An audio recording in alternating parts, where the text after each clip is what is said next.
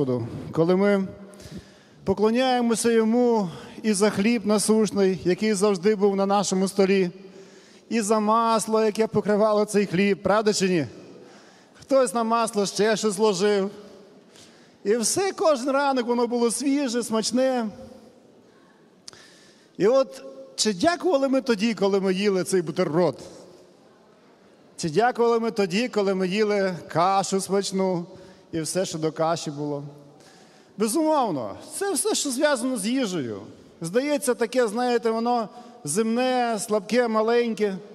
Але як тільки забрати це все, тоді ми зрозуміємо, що це таке, правда чи ні? В час голоду, коли не було хліба, коли не було що їсти, тоді люди розуміли, що таке кусок хліба. І ви знаєте, не раз наші бабусі, я пам'ятаю, як мене моя бабуся вчила, коли впав кусок хліба, ти повинен підняти його і поцілувати його. Вас так вчила бабуся чи ні? Да. Чому? Тому що це був хліб, це був дар Божий, який Господь подарував нам. Але не дивлячись на те, що це свято присвячене подяці за плоди, ми не будемо говорити про плоди. Бог про плоди подумав.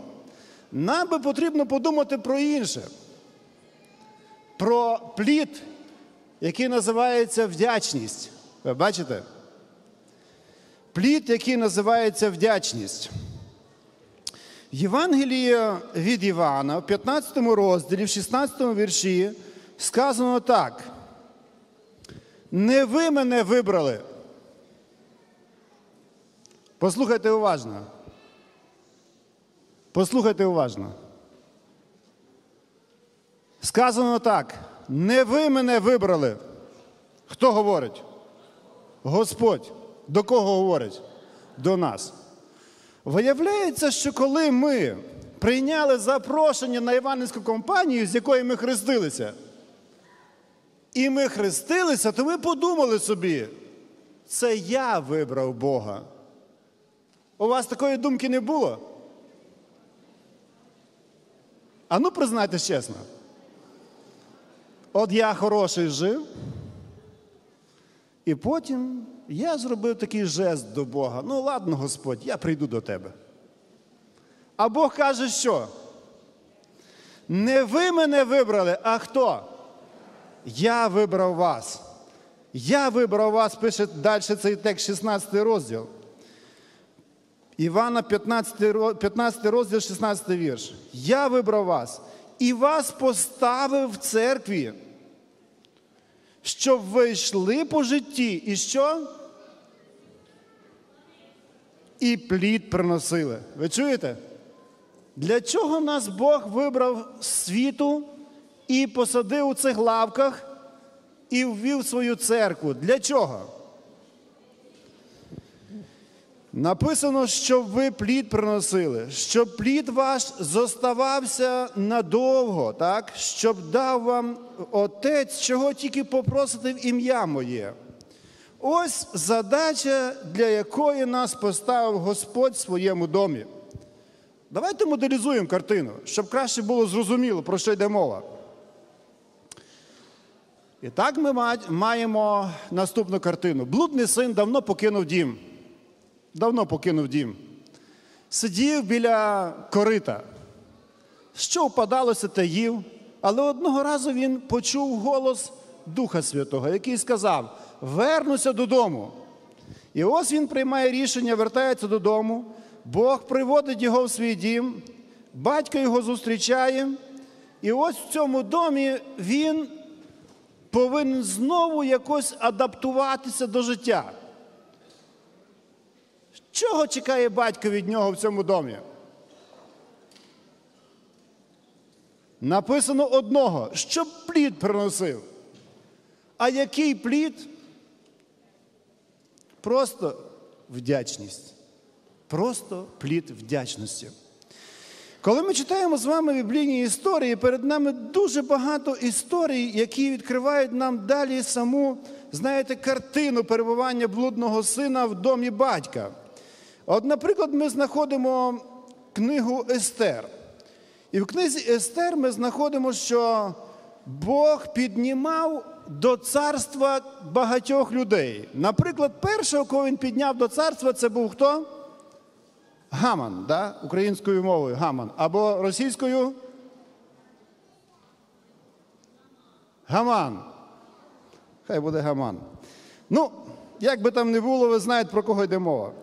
І ось цей чоловік був поставлений при царстві з якоюсь конкретною ціллю, щоб приносити плід. І що ми знаходимо? Який плід він приніс, цей чоловік? Написано, що він настільки був,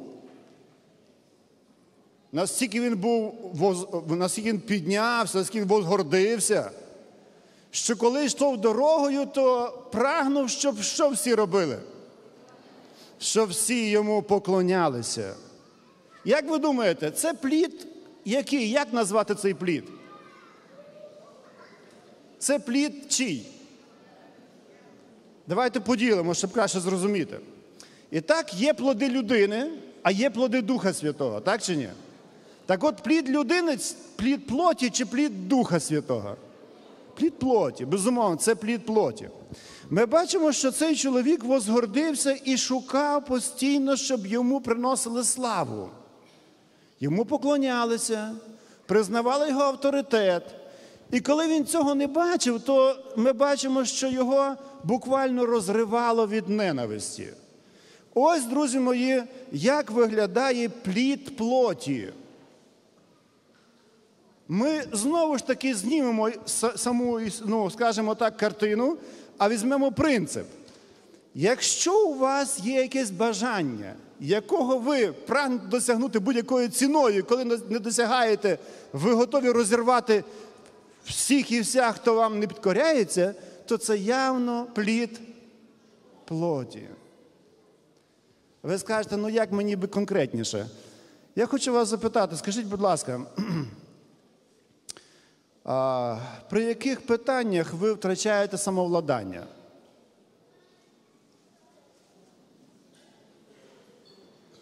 ви перестаєте володіти собою. Ви не говоріть так, просто подумайте. При яких обставинах ви перестаєте володіти собою? І ось коли ми дивимося на ці обставини, а ці обставини, знаєте, часто в житті зустрічаються, то ми знаходимо, що саме в цей час проявляється те, що ми називаємо плоди явно не Духа Святого.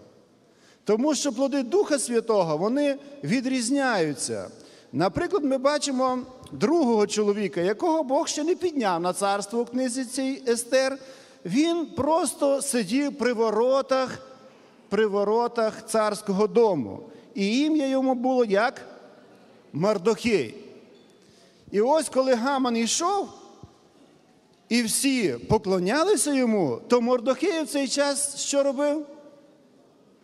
не поклонявся Гаману. Чому?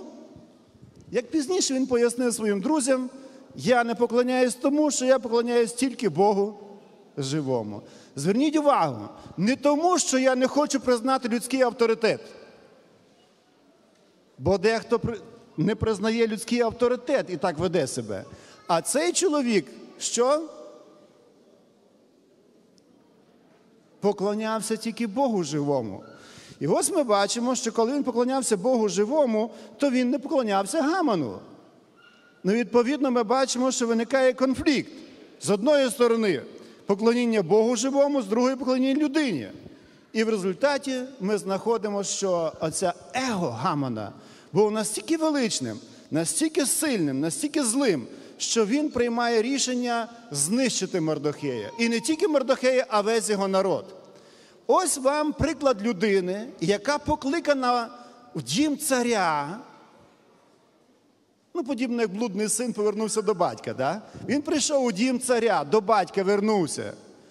Але він весь час шукає задоволення своїх похотей, своїх егоїстичних потреб. Він шукає слави собі, він шукає волі своєї, він шукає планів своїх, він шукає все, що вважає за потрібне сам. Але він не шукає слави Богу. Це приклад людини. Я би сказав, образ Гамана це е, приклад людини, яка, яка прийшовши до, до церкви в дім батька, це церква, він не покоряє своєї душі, а шукає власної якоїсь мети, в задоволення власних похотей і власних бажань. Тому приносить не плід духа, а плід плоті. І що цікаво, як ви звернули увагу, я оперую цими поняттями, тому що Біблія про це говорить: плід плоті і плід духа. І Бог не вимагає від нас плоду плоті, а Бог вимагає від нас чого? Плоду духа, якраз Духа Святого. І ви знаєте, у цій історії Мордохей одного разу спас царя. Два євнухи домовились між собою зробити замах, такий, знаєте, на царя. Мордохей спас його. Фактично видав двох євнухів. Коли він їх видав, то написано, що цар був дуже йому вдячний. Так чи ні? Дуже був вдячний.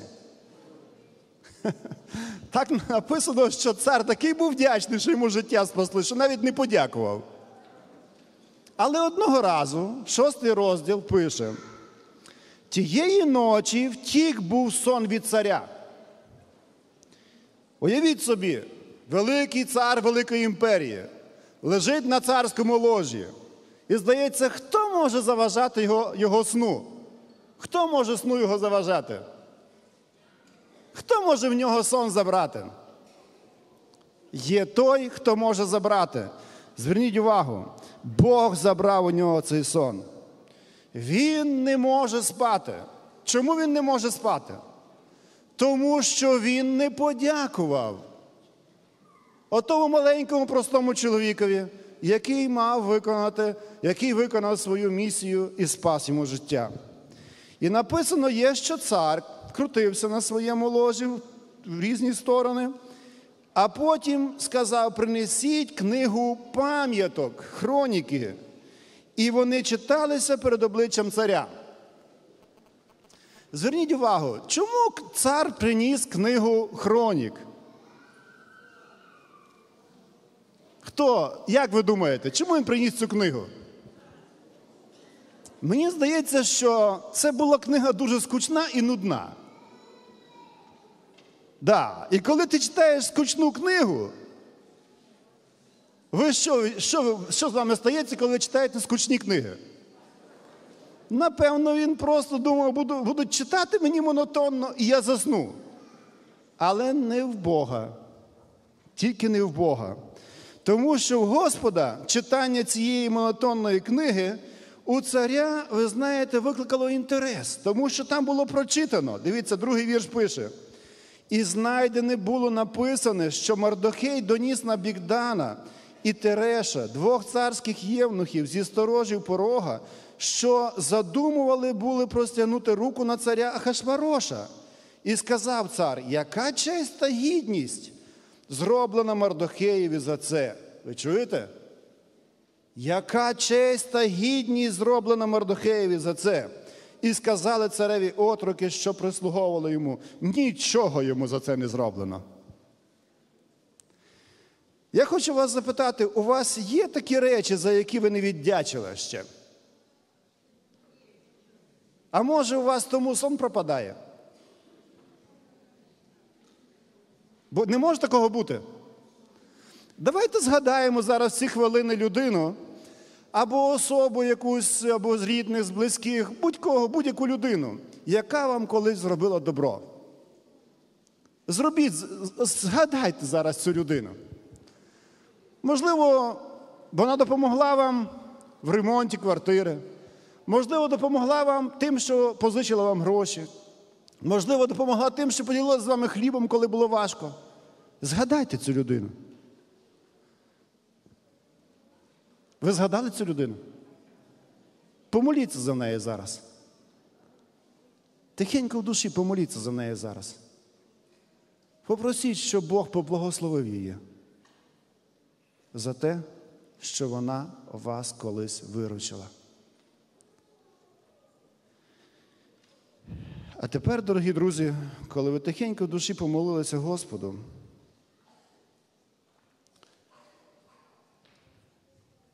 хотілося би, щоб ви подивилися далі в текст біблійний і побачили, що стається з невдячними і яка доля вдячних. Коли ми читаємо далі, тоді цар, третій вірш каже: сказав цар, яка честь та гідність зроблена Мордохеєві? Сказали, нічого не зроблено. І спитав цар, хто є на подвір'ї? Це була ніч. Мав наступати ранок. Але було дуже-дуже така ранній ранок, пізня вже ніч. І хтось на подвір'ї царському в цей час ходив. Хто в цей час на царському подвір'ї ходив? Гаман, так? Гаман. Він прийшов на зовнішнє подвір'я царського дому. Напевно, він прийшов, щоб подякувати цареві, правда? Може, він прийшов подякувати Богу. Чому йому не спиться? А справа в тому, що буквально напередодні цих подій його цариця разом з царем запросила до себе в гості. Ви знаєте, коли цар йде і нікого не бере з князів, лише його одного. Ви знаєте, яке відчуття в нього було в серці? О, це було відчуття великої вдячності.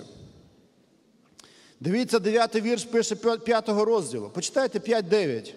Вийшов гаман того дня радісний і добросердий. Ви бачите, який був? Радісний і добросердий. Добре серце, повне радості. І ви знаєте, він йде, кругом пташки співають, сонце світить особливо, природа красива, все таке гарне. І ось це похоже до людини, яку спас Господь і привів свій дім. Вона щаслива йде. Але до якогось моменту. Читаємо 9 вірш далі. Та коли Гамон побачив Мардохея в царській брамі, і він не встав і не затремтів перед ним, ви чуєте? То Гаман переповнився лютістю. В одну мить, друзі мої, в одну мить сонце потьмяніло, птахи замовкли. День пішов на захід і наступила ніч. В одну мить. Що сталося? Він князь? Скажіть мені, він князь? Князь. Він був на прийомі з царем в цариці? Був. Так де радість ділася? Пам'ятайте, що ми паралельно проводимо життя спасенного. Він врятований Господом в Царстві Божому чи ні? Ну, той, хто прийняв Христа як свого Спасителя і охрестився, скажіть мені, він врятований Господом на Христі? Ви не впевнено говорите. На Христі Христос врятував того, хто прийняв його як свого Спасителя чи ні? Та так, ну а як же? А кого він врятував? Ну він же його врятував. Він його врятував. Скажіть, в церкву свою привів? Привів. Хліб насушний дає? Дає. На кожен день охорону ангелів дає? Дає. Сонце яскраво світить і крила на плечах. Щастя з лиця не сходить. Серце співає від радості. Да? Один брат Олександр говорить, що так. А решта мовчать. А і ви ще сказали так, двоє сказали так. Друзі мої, що ж робиться? Ми бачимо, що якщо проводити аналогію між Гаманом і нами, ну, вибачте, за таке порівняння, мушу таке зробити, зобов'язаний, то знаходимо, що щастя і радість, і вдячність пропадає в одну хвилину при погляді на річ, яку, яка тебе дразнить, яка тебе спокушує, яка тебе злить, яка чіпляє твоє, твоє горде я. У даному випадку ми бачимо, для Гамона це був хто? Мордохей. Для Гамона це був Мордохей. Я хочу ще раз прочитати цей вірш. Вловіть динаміку процесу. Подивіться, будь ласка. І вийшов Гаман, це 5 розділ, 9 вірш. Того дня радісний і добросердий. Та коли Гаман побачив Мардохея в царській брамі, і він не встав і не затремтів перед ним, то Гаман переповнився лютістю на Мардохея. Ви чуєте? Якщо порівняти почуття, слова, які описують почуття, то ми бачимо так: спочатку що? Радісний, добросердий, а в кінці переповнений лютості. І вся причина тільки в тому, тільки в тому, дорогі мої, що не виконалася твоя воля. Ось суть. Якщо зняти всю цю історію і вичленити принцип, просто виділити принцип, то ми бачимо, що щастя і радість наша пропадає тоді і бажання дякувати, коли не виконується наша власна воля. Воля Гамона. Я йду і в царському е, е, порозі, при воротах усі мають що? Впасти. Оце воля Гамона. Я йду, дивлюся, а він не падає. А Мордохей не падає мені до ніг. Він стоїть. І що стається в цей час? Що стається в цей час? Миттєво змінюється все. Дорогі мої, скажіть, будь ласка, ви можете зараз знайти питання, у якому ви втрачаєте радість? Я знову ж таки наголошую на цьому: радість, самовладання і спокій. І я тепер дам другу задачу, вам продовжимо тест. А це Божа воля взагалі? Оце питання.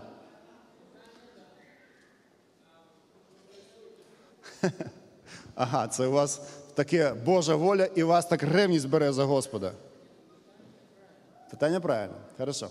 Зараз бо ми так не домовимося, ми, ну, щоб всі нас почули.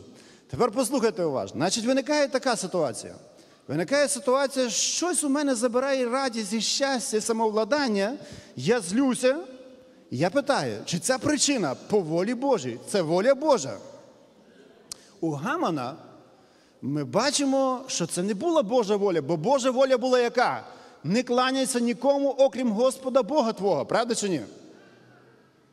Тому Гаман не міг отримати похвалу і поклоніння, тому що поклоніння належало Господу. А от, наприклад, у вас зараз, у вас є якась мрія, або у вас є якесь, ви знаєте, бажання якесь, або їх буває, буває часто цих бажань різних. І от питання коли це бажання не стається так, як ви цього хочете. А може задати питання, а чи на це воля Божа є? Щоб так було, як я хочу? Чи на це воля Божа є? А може на це волі Божої немає? Ви пригадуєте, наприклад, коли ви спішили за маршруткою, яка втікала перед вами, буквально втекла перед вами, або метро закрилося перед вашими перед вашими очима, перед носом тут раз і закрилось метро. А ви спішите, ну так спішите. Можливо, це ви втратили ще гірше самольот. Може, таке могло бути. Можливо, ви ще щось втрачали, або чогось не отримували, або щось до вас приходило, ви чекали щастя, прийшла хвороба. От як з Йовом ми сьогодні вивчали, так чи ні? Він чекав щастя, а прийшла хвороба. І жінка йому запропонувала просто: прокляни Господа і все, і помри. А він, бачите як? А він зовсім по-іншому дивиться на світ. Тому питання, коли пропадає щастя, тоді, коли моя воля преобладає над Божою волею у моїй свідомості. Тому ми читаємо, що він розлютувався та стримався. Десятий вірш пише. Прийшов до свого дому і послав покликати своїх приятелів, жінку свою жереш. І розповів їй Гаман про славу свого багатства, про численність синів своїх, і про все, як звеличив його цар. І він підняв його понад князів та слуг царських, і сказав Гаман, а цариця Естер не привела царем на гостину, яку зробила нікого, крім мене. І також на завтра я покликаний до неї з царем. Та все це ніщо не варте мені того часу, доки я бачу того Мардохея, юдея, що сидить у царській брамі. І сказала до нього жінка, як завжди, жінка ну, спішить і радить так, нічого доброго. Сказала до нього жінка його, Зереш і приятелі, нехай приготують шибеницю високу на 50 ліктів, і ранком скажи цареві, і нехай повісять на ній Мардохея. Тут ми бачимо Йов, Йову жінка порадила недобре, і тут жінка не порадила добре. Хоч були поради жінок дуже добрі. Але ті жінки були мудрими. Наприклад, ми бачимо жінку кого? Навала, да, навала. Ми бачимо інших жінок, які радили правильно. Ну ці жінки були мудрими в Божі, а це були без Бога. І ось тепер, коли побачив це все Мардохи, вірніше е, е, Гаман, він прийняв рішення побудувати шибеницю. І ось є одна проблема, що він побудував вечором шибеницю, а рано треба вже йти до царя. І щоб встигнути повісити Гамана, треба було отримати дозвіл від царя. Тому він прийшов до царя, коли? Якщо в 9 прийом, то треба було прийти хоча б десь 6-7, щоб встигнути все зробити. І він прийшов уже ранесенько і чекав. І коли він прийшов раненько і чекав уже, щоб цар проснувся, то тут його покликали. Яке було щастя? Його кличуть до царя. І ви знаєте, написано в Біблії, нехай увійде, сказав цар, п'ятий вірш. Шостий вірш каже: І Гамон увійшов, а цар йому сказав, що зробити з чоловіком, якому цар хоче честі? І подумав Гаман в своєму серці, кому ж цар зажадає вчинити честі більше, як мені? Тобто ми бачимо, що ця людина знову ж таки, який плід приносить? Свого егоїзму. Але ми бачимо, що Бог робить по-іншому.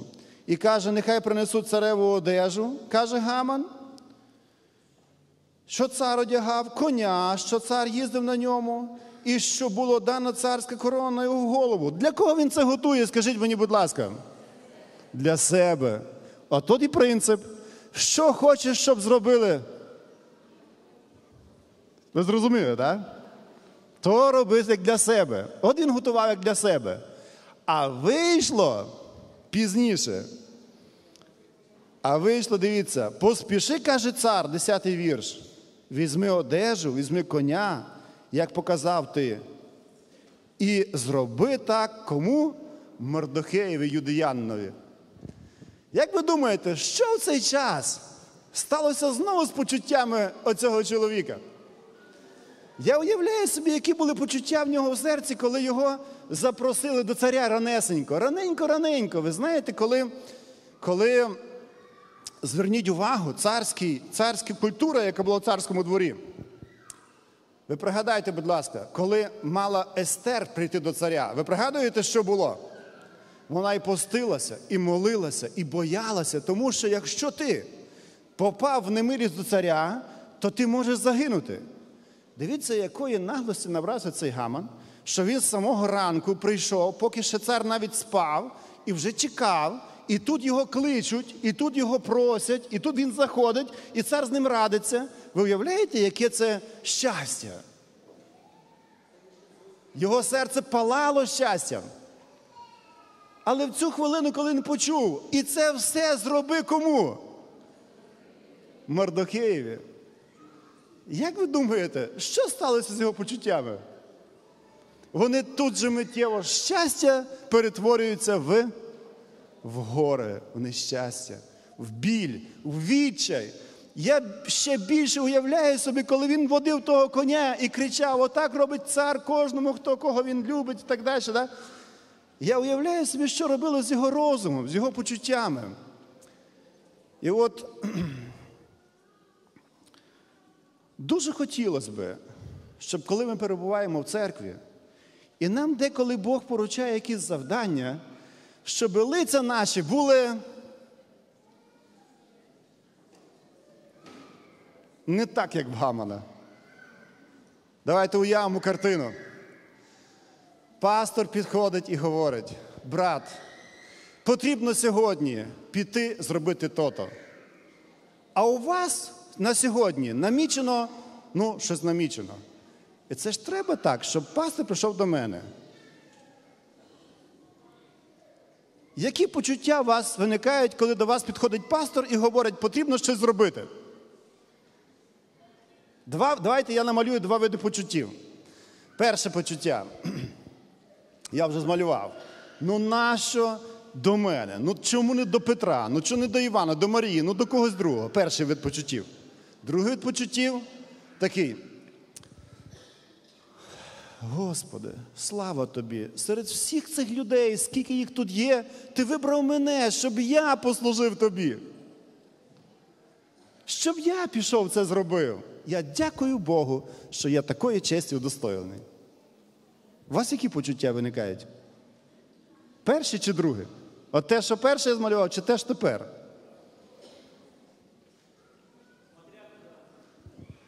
Ну, переважаюча більшість. Так от, коли ми читаємо, друзі мої, далі, то ми бачимо, що ця вдячність проявляється в тому, що людина хоче служити іншому. Не дивлячись на те, що цей інший може ніхто в його очах, може він взагалі ну, не вартує її, щоб на нього тратити час. Але ради Господа. Але ради Господа. І от коли ми читаємо цей текст далі, то ми бачимо, він відвів коня, поводив по площі його разом з Гордохеєм з самого ранку, і потім пішов до цариці на прийом. Давайте попробуємо уявити собі картину лиця на прийомі в цариці Гамана. Він тільки що Мордохея возив по площі. Як ви думаєте, яке в нього лице? Він щасливий, тому що міг царю послужити, адже він царя любить, правда? Я думаю, що лице його, кожна міміка, кожен кожен м'яс лиця, він кричав про його образу, про його приниження. І він сидів на цьому прийомі і не знав, що його чекає ще більший сюрприз.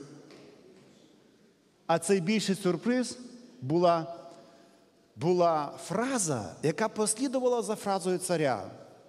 Він сказав своїй цариці: Цариця, ти так прекрасно приготувала обід. Скажи мені, що ти хочеш, до пів царства дам тобі. І цариця вимовила: подаруй мені життя моє. Я твого життя не брав. Я не хочу твого життя. Живи, цариця. А вона каже: а це він, Гаман. Як ви думаєте, що в цей час сталося з його лицем? Це тяжко уявити. Але я думаю, це була стріла, яка прошивала його тіло. Він розумів, що це кінець. Тільки тому, що він, прийшовши до царства, отримавши владу, будучи благословенним Богом, бо написано, що всяка влада дається від кого? Від Господа. Він почав використовувати цю владу не для блага народу, якому поставили його служити, але для блага власного егоїзму, власної вигоди.